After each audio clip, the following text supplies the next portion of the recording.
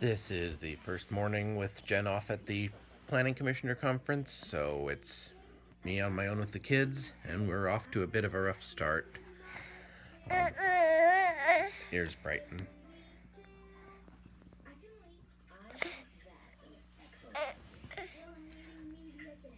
Okay, so anyhow, we're off to a bit of a rough start. On a normal Wednesday, I'm working from home, so I do usually the kids' drop offs in the mornings.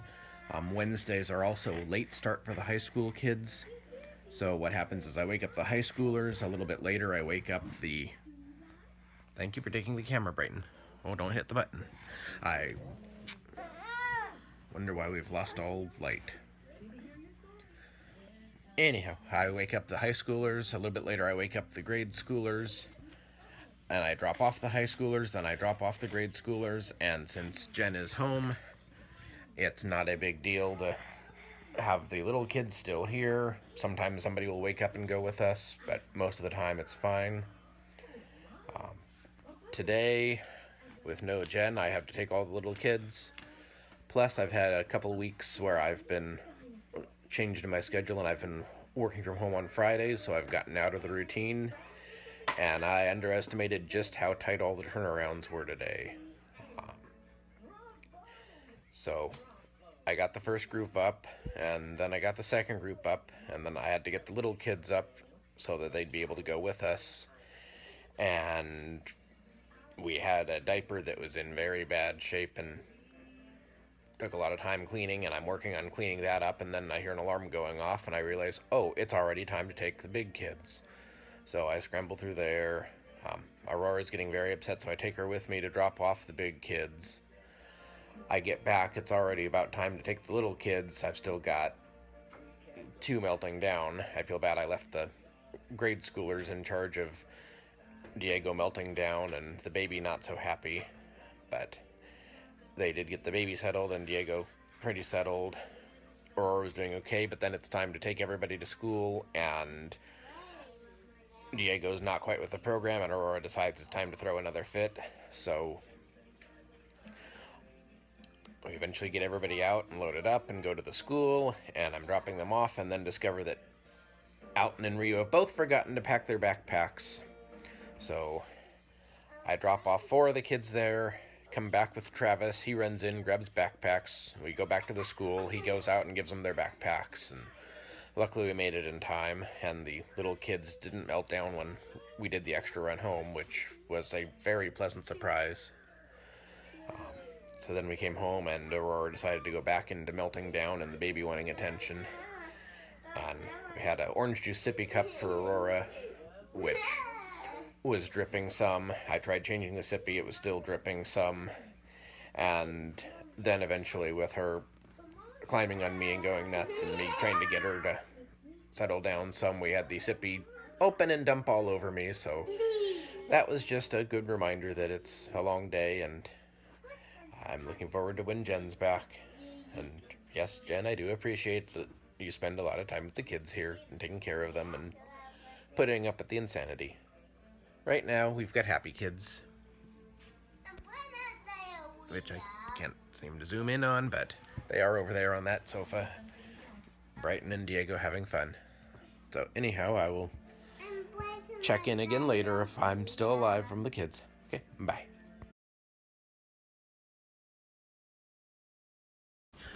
It's now midday and time to pick up the kids from school because it's a minimum day due to parent-teacher conferences. And being rather foolish, I said, hey, it's a nice day. We need rain, but it's still a nice day ahead of a upcoming string of storms, so why don't I go ahead and we'll take the stroller. Which is good, but once more, a big messy diaper has thrown off of the schedule, and now I'm walking rather fast to try and get to school on time. How are we doing, kids? Good. Okay, they're happy at least. So, I will talk to you later, and hopefully I make it in time. Well, we almost made it. The kindergartner was already out waiting for us.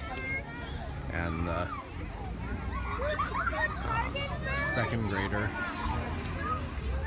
who was there also. Alright, now you. But they were waiting behind the gate Well, right now I said you're late. parents to pick them up, which is good. Of course, now we still get to wait because they stagger the grades coming out so that they don't have a whole parking lot full of people trying to pick the entire school up at once. But since we have people in five different grades, it means that we're up to the end from the start to the end.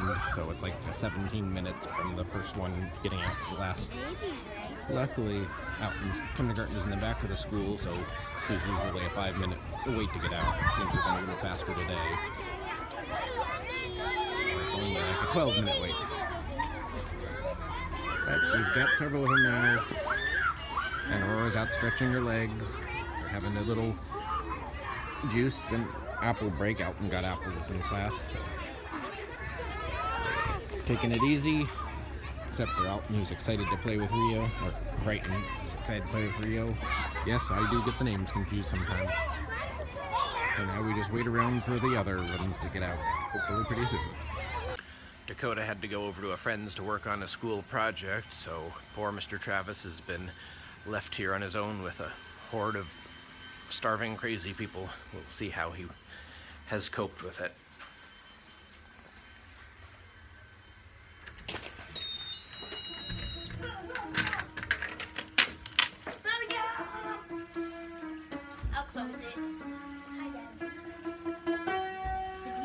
Yeah, sounds like everything is awesome. This represents a major accomplishment. It's taken me about six different tries to get through loading the dishwasher. Because every time I get there, the baby comes running up to grab onto it. Luckily, he's now trying to escape it from his high chair, so I'll let you go. Hey Jen, when you're watching this and thinking that you would enjoy your day away more if you didn't know what you were missing, what happened to your arm for mounting the camera so it's not just sitting down there at the funny angle? Anyhow, I'm off to pick up Dakota from a friend's house, which will get all the kids together and be the end of the running around until we end up running out to the store for a bunch of stuff and then running out to the store for stuff that the kids say, oh, we need this too. So, I think I've just about survived the day. It's almost 5.30, so Jen is probably on her way or soon to be on her way. I've only once come close to leaving a kid in the car. That was Aurora on the morning when she had been going crazy, and then she settled down when she was in the car. But I caught that as I was getting ready to go in the house and said, Nope, I better bring in Aurora too. Um, otherwise, we've got everybody back now except for Dakota, who I'm picking up. The homework is all done except whatever Coda might have. Chores are done or well underway. Nothing too major has been broken that I'm aware of, so they've done a good job hiding it. So, all in all, pretty successful on the home front. Now, I, at one time, I had hoped to do a fair amount of work today. I checked email occasionally. I updated a couple things on our project plan, chatted with one of my friends at work, and all in all put in maybe half an hour, so not so much there. I'd had a couple of grand ideas for big household projects I could work on, which have gone even less far, so not so much there, but we have made it through the day. And apparently lost our aim on the camera. So we are just about done. And thank you for putting up with me. And don't worry, Jen will be back in a few days. That is, she'll be back on the vlog in a few days. She better be home tonight, or I'll lose all control. I said blue. Then I said, imagine if red hands actually were blue. There's a bus. Oh, Hi, baby.